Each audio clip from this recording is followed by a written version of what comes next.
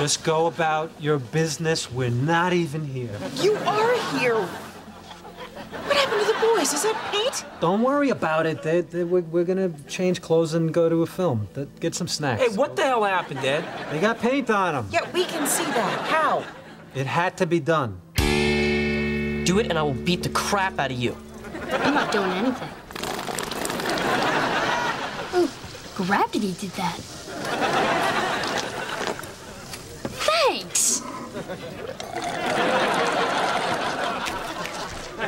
Now let's go. Let's go!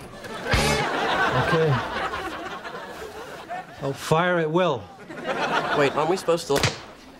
Hey! Isn't Henry too young for paintball? Yeah, but we got him a hat so he can meet the height requirement. Eddie, we asked you to take care of them. I took care of them. I took good care of them.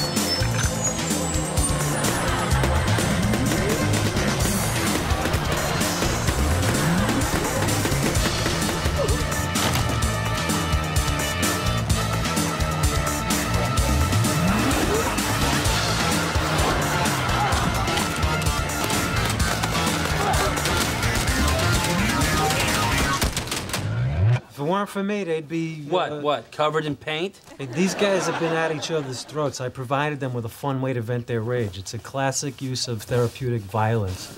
That's when you fell down and I shot you right in the butt. Yeah, how about when that manager guy tried to take my gun away? Bad move. Henry shot him right in the mouth. That was a very nice moment. Yeah, sorry, I missed it. Jimmy, Henry, get upstairs and get cleaned up.